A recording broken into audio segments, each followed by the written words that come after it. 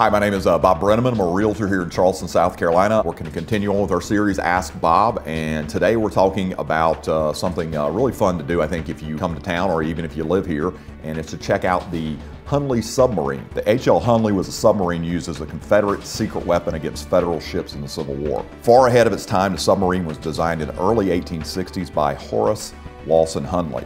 Unfortunately, he became a casualty in the second of two incidents which gave the Hunley an unlucky reputation. It sunk twice, killing five out of eight crew members the first time and the whole crew the second time. On February 17, 1864, the Hunley sailed for the last time, propelled by the cranking of the crew inside. Its top speed was about four miles an hour.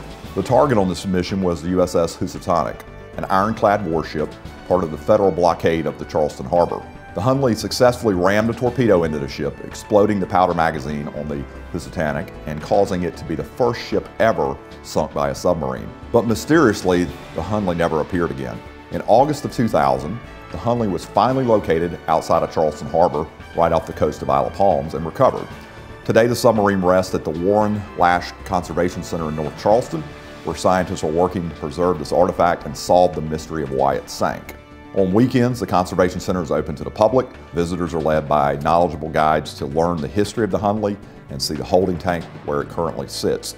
You'll also get to see artifacts found inside the submarine, exhibits, and replica sections of the interior. Again, the Hunley submarine, very cool thing to check out. I was fortunate enough, I guess, probably right after they brought it up to get to come out there. A friend of mine works for the Hunley Preservation Group, and they got me in prior to any of the public getting in. It was really neat to see. I mean, it was, it was still on a lot of silt. Definitely something I would say if you're a uh, Civil War buff, check it out when you're in town.